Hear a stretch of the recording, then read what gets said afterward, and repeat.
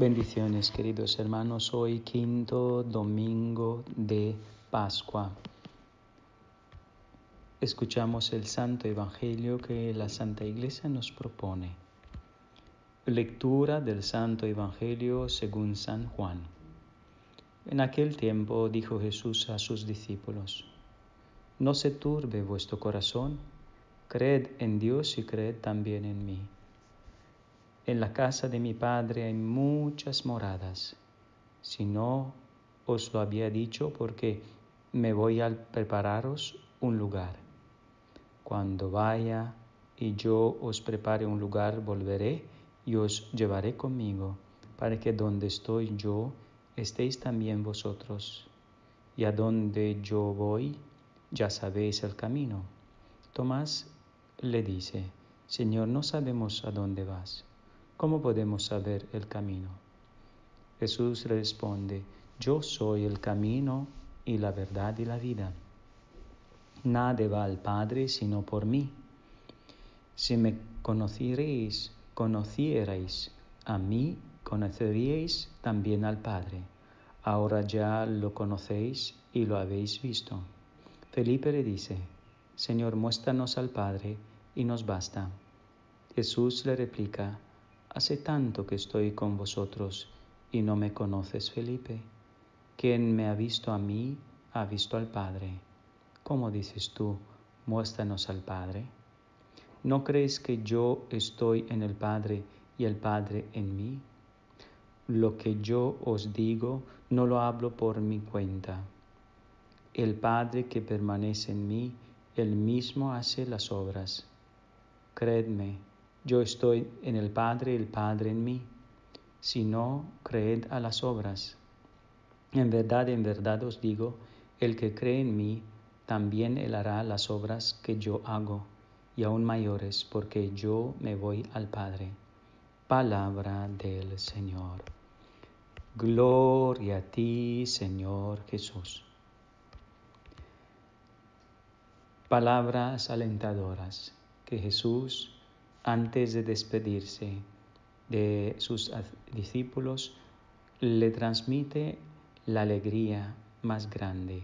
Lo primero, que no se turbe nuestro corazón, que quedamos en Dios en Él, porque Él se va al cielo para prepararnos a cada uno un lugar, o lugar donde el Padre nos espera, a cada uno de nosotros donde nos tiene una morada por cada uno. Allí donde llegan todos los que quieren ser santos. Por eso Jesús nos dice, yo soy el camino, la verdad y la vida.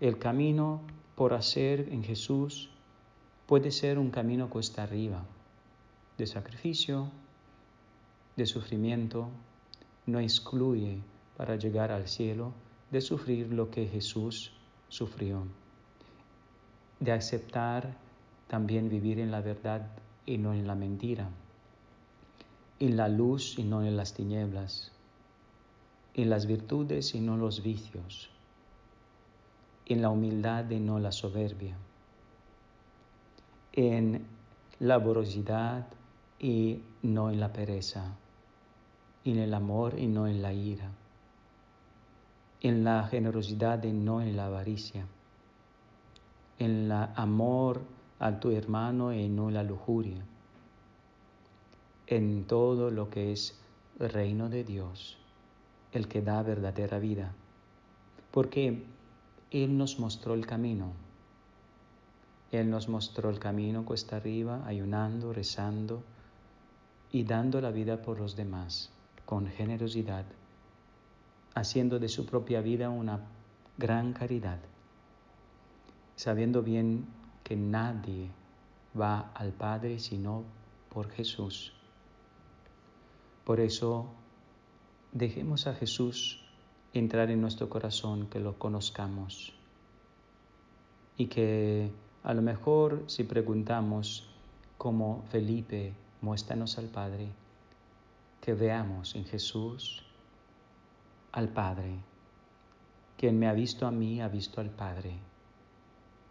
Por eso, veamos las obras de Jesús, veamos lo que Él actuó en esta vida.